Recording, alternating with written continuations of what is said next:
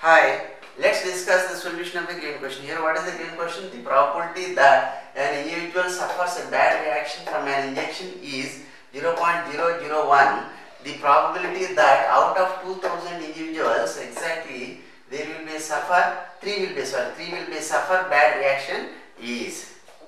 Here, what is the given information? Simply, they have given a probability 0.001 probability of an individual suffers with bad reaction and at the same time sample they are given total of 2000 is there. So clearly from the given question we can realize that P is very small and N is large. So it follows Poisson distribution. Now we have to use Poisson distribution in the given question. First let me write the Poisson distribution.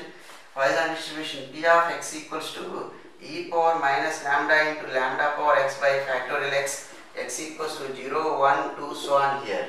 So now what is here what is the parameter in Poisson distribution lambda value. So let me write here lambda lambda equals to np n into p. See n is uh, number of samples. See total number uh, total number of samples in binomial distribution p is the probability of success here probability of that individual suffers with bad reaction.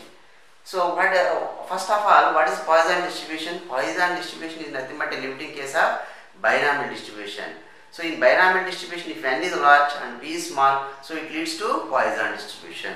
Now clearly they have given n value and p value. Let me substitute and then we will get a lambda value. See here what is n 2000 n equals to 2000 here what is p? What is the value of p here?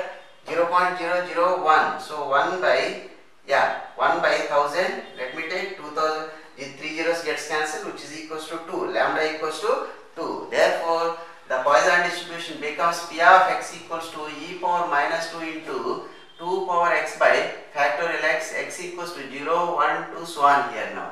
Now okay now we will think about the required probability. What what is the required probability? Probability that out of 2000 individuals exactly 3 will be suffer. Means probability of 3 x equals to 3 see you can write x equals to 3 here e power minus 2 into 2 cube by factorial 3 e power minus 2 into 8 by see 2 cube 8 factorial 3 means 6 here.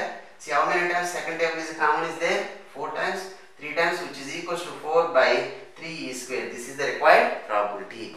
Now we will compare with the given options. What are the given options here? See 1 by e square incorrect 2 2 by 3 square this is also incorrect. Yes 3 also incorrect. 4 4 by 3 square is there.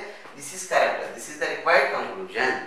So at last what is the process we applied? Simply we applied the concept of Poisson distribution and then we calculated P of 3 in between lambda value also. Thanks for watching. All the best.